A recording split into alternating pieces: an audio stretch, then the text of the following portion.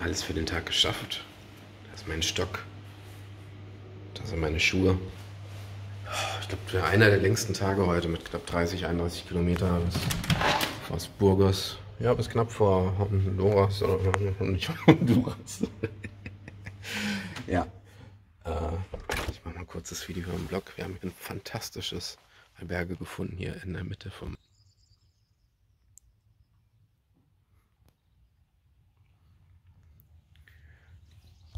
konnten kostenlos nochmal unsere Wäsche waschen. Äh, wir haben fantastisch gegessen. Es gab ein fantastisches Gericht. Äh, Fisch, ja, mit Salat. Ähm, für einen schmalen Groschen. Also absolut fantastisch. Wieder mal ein absolutes Highlight. Ein Highlight reiht sich an das nächste.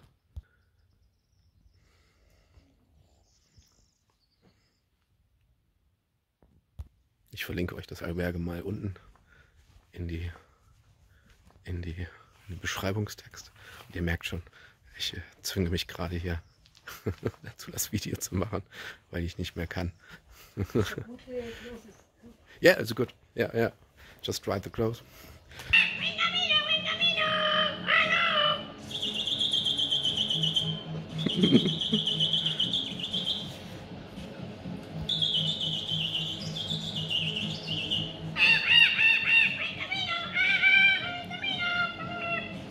Nein, thank you. Ja? Gerade den Herbergsvater noch getroffen. Der macht fantastische Stimmimitationen.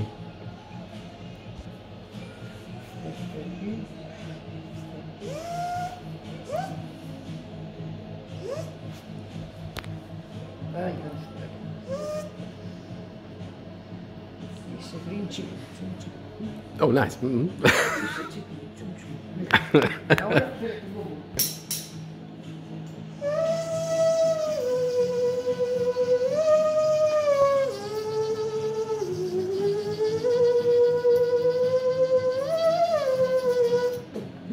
Nice. Ja. Werte doch das einfach als die geistige Erkenntnis des Tages. Man muss sich nicht zu ernst nehmen. Ich gehe jetzt mal ein bisschen weg, nicht, dass ich dann noch GEMA-Probleme kriege mit der Musik da vorne. Hm. Ja, heute Morgen um 7.30 Uhr äh, von Burgos aufgebrochen und äh, dann in ein Café sozusagen eingebrochen. Das hatte noch nicht geöffnet, aber ich bin einfach reingestürmt und gesagt, äh, Kaffee, Käffchen. So, und der nette Senior hat uns dann direkt einen Kaffee, einen warmen Kaffee gemacht. War es saukalt, ist saukalt nachts, wirklich sau, saukalt. Ähm, klattert etwas auf und wir kamen dann mehr und mehr in eine fantastische Landschaft, wirklich. Grüne Felder, soweit das Auge sehen kann. Grün, grün, grün, überall. Und niemand da außer uns, wirklich. Fantastisch, ja dann einen fantastischen Blick auf dieses, dieses erste kleine Örtchen, ähm, das vorletzte kleine Örtchen, bevor wir hier unseren Zielpunkt erreicht haben. Ich bin hier eine Weile aufgehalten. Ich den Mai getroffen. Ein Bus voller asiatischer Touristen hielt dann plötzlich an einer Bar und da stiegen irgendwie 40 äh, Touristen aus und bevölkerten diese Bar. Und ich wollte eigentlich auch nur ein Kaltgetränk. Und ich bin dann in diese Bar rein und die saßen dann alle am Tisch und unterhalten, äh, reden. Ich stelle mich an die Bar, ja, öffne den Kühlschrank, nehme ein Kaltgetränk raus und mache das direkt auf, suche den Barkeeper und all diese 40 Leute mit einmal stumm blicken zu mir. Wirklich, ich gucke so, so.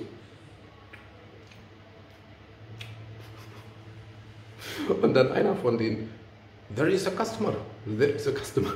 Da ist ein, da ist ein Kunde sein Kunde. Ja, und dann kam wenig später dann auch der Barkeeper, haben mir 2 Euro für so eine kleine Flasche berechnet. Naja, ein bisschen Wucher ist hier schon, kann man, kann man, nicht, kann man nicht abstreiten. Ähm, aber es gibt auch sehr wahnsinnig viele günstige Lokale. Wirklich ein Glas Wein für 1,20 Euro oder halt auch eine Limo für einen Euro. Oder? Ja, das gibt es auch. Und der Weg dann war dann sehr, sehr schön bis zur letzten Stunde begannen dann die Beine aber so richtig zu feuern. Da gab es richtig, richtig Feuer. Ganze Unterseite von den Füßen. Boah. Da musste ich mich wirklich durchquälen, die letzte halbe bis ganze Stunde.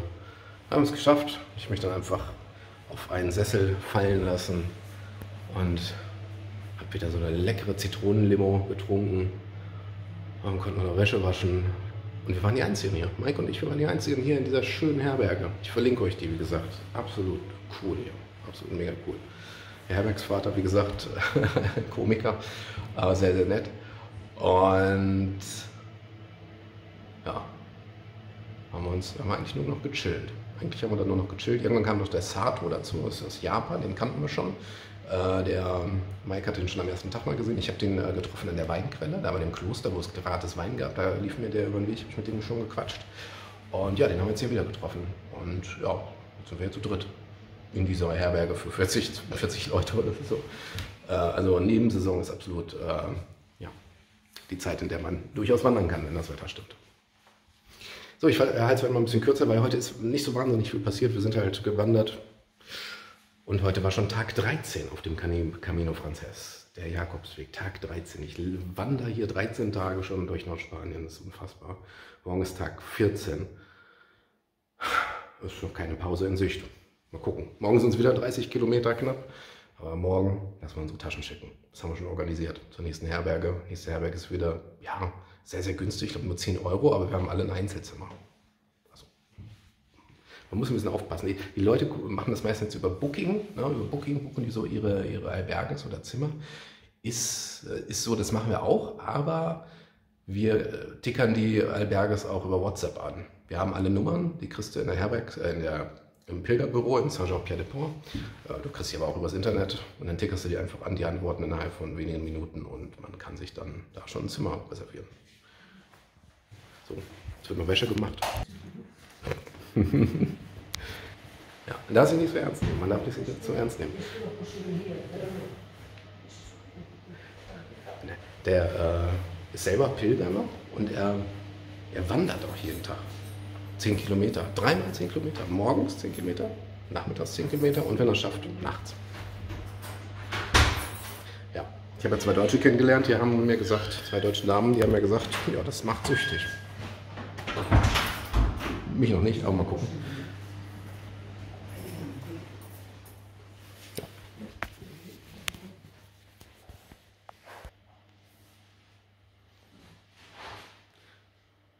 Ist mein Bett. Da ist der Sato. hey. da ist der Mike. Ja. Und heute lassen wir uns ganz, ganz, ganz, ganz früh in die Kiste fallen.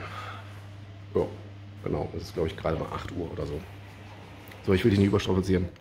Wir sehen uns morgen. Ich mache das jetzt so dunkel. Tschüss.